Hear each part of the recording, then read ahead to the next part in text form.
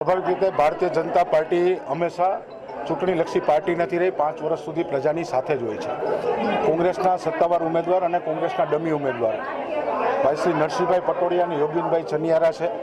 એ અમારા વર્ષો જૂના મિત્રો છે અને જ્યારે રાજકોટ મહાનગરપાલિકામાં કોર્પોરેશનનું શાસન હોય, ગુજરાત સરકારમાં કોર્પ, ગુજરાત પણ ભારતીય જનતા પાર્ટીની હોય ને કેન્દ્રમાં પણ ભારતીય જનતા પાર્ટીનું શાસન હોય ત્યારે પ્રજાનો, પ્રજાને જે જોઈ છે, જરૂરિયાત મુજબ એની સંતોષાય, પ્રજાની લાગણી, એને એને વાચા આપી છે. અને નરસિંહભાઈ પટોડિયા અને યોગીનભાઈ છનિયારાને હું શુભકામના આપું છું કે કોઈ પણ કમિટમેન્ટ વિના એ ભારતીય જનતા પાર્ટીમાં જોડાયા છે.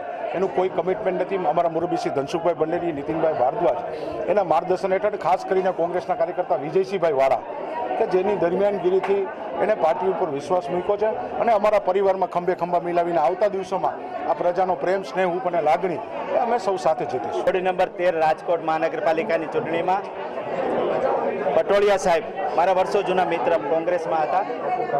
વિજયસિંહ વાળા પણ મારા વર્ષો જૂના મિત્ર છે. બંને કોંગ્રેસમાં મિત્રો હતા. મળ્યા અમને લોકોને, બેઠા અમે. અને એમણે વિચાર દર્શાવ્યું કે ભારતીય જનતા પાર્ટીમાં જે રીતે કોંગ્રેસમાં ઘણા દિવસોથી અમે જોઈ રહ્યા છીએ ટિકિટ મળ્યા પછી મુશ્કેલી હતી, તો અમે કીધું કંઈ વાંધો, વેલકમ. ભારતીય જનતા પાર્ટી વિકાસની રાજનીતિ રમી રહ્યું છે. કોઈ વ્યક્તિગત કે એ રીતે નથી કામ કરતા, પાર્ટી માટે કામ કરીએ છીએ.